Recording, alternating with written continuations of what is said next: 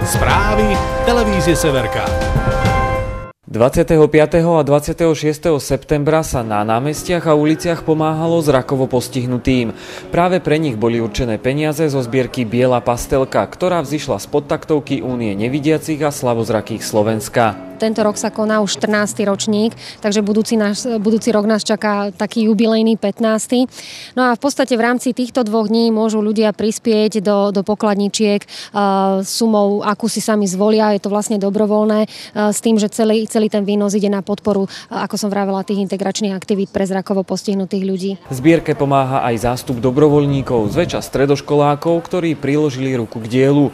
V Žiline a v Martine boli pripravené aj dva infostánky. Ďalej sa zbierka koná viac menej v každom okresnom meste, nielen teda v Žilinskom kraji, ale na celom Slovensku a v niektorých väčších e, obciach. Ambasádorom tejto zbierky tento rok je Michal Hanzuš, takže v podstate tento rok e, sa pastelka nesie v takom hokejovom duchu. Možno novinkou oproti minulým, minulým ročníkom je, že tým, že je to taká hokejová legenda, dajú sa zakúpiť aj puky s podpisom Michala Hanzuša, ktoré sú v každých infostánkoch, e, viac menej v krajských mestách, kde sa teda zbierka koná a takisto na internete je rozbehnutá aj dražba predmetov s podpismi hokejových legend, ako je Michal Hanzuš, Zdeno Chára, myslím, že tam je aj Marian Hosa.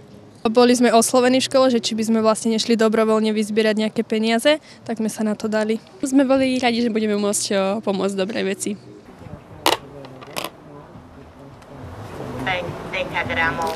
Minulý rok sa nám podarilo prekročiť 100 tisícovú hranicu, čo sa veľmi tešíme. Veríme, že sa nám to podarí aj tento rok. Aj v rámci nejakých e, štatistík je považovaná za najdôvryhodnejšiu zbierku, tak e, dúfam, že si, že si toto meno nepokazí, pretože viem si predstaviť, že tí ľudia majú asi tých zbierok dosť, okrem sú nezabudiek, utečencov a tak ďalej. Uh, takže verím, že ten status si táto zbierka zachová a ľudia budú naďalej ochotní prispieť na dobrú vec.